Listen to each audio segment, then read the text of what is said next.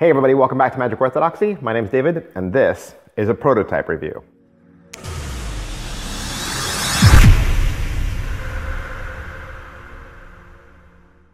Hey, today we're gonna look at the House of Cards playing cards from Ember Waves and Untied States. Who is Ember Waves? Uh, you might remember uh, this is their third uh, deck in their Untied States trilogy, and that's right, I said Untied States not United States. It's a play on words. You might remember a while back we did the review for their Capitalists deck, which was a very successful campaign. You can look out for those cards. You can also look out for their other decks, the Sword and Atlas. Currently, this is a Kickstarter campaign right now, and so if after watching this video you feel compelled to back this project, I would highly recommend you head on down to Kickstarter and check them out.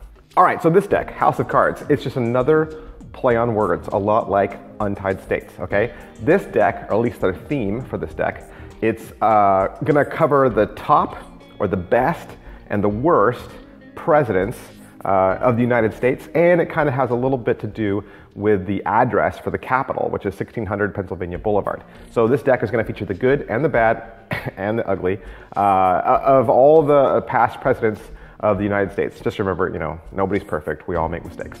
So the black cards, the black cards in this deck, uh, the spades and clubs, they're going to represent all of the good uh, presidents, uh, according to Untied States. And so the red cards, the hearts and the diamonds, they're going to represent all the bad presidents. Now, so at the end of the day, this deck is a satirical comedy, okay? It's not a drama. It's meant to be fun. It's meant to be intriguing. It's meant to lead the conversation uh, into the discussion. It's not meant as a uh, political statement. It's political satire, okay? Okay, so the other neat thing about this deck series is it's gonna be super limited edition. I know other deck designers, they throw out the word limited edition like it's, you know, ice cream, but hey, this, this is seriously limited edition. Okay, here's what they're gonna do.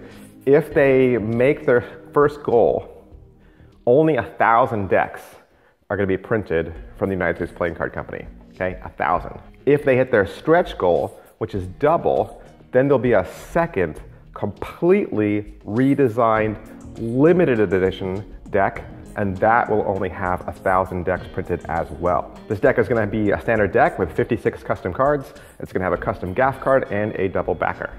Every single card will be custom. Number, court, ace, joker, 100% redesigned new custom cards illustrated by designer Ember Waves. Also the tuck case, again, completely redesigned, redone, no bicycle branding. It's gonna be its own thing and it's gonna fit perfectly uh, within your Untied States trilogy. So if you already own the previous decks, this deck's gonna fit right along as a part of it. All right, so that is our review for the Untied States House of Cards playing cards from Ember Waves. And like I said, if this review has stood out to you, if this sounds like something you'd like to back, I would highly encourage you to head on down to Kickstarter right now and give it your support.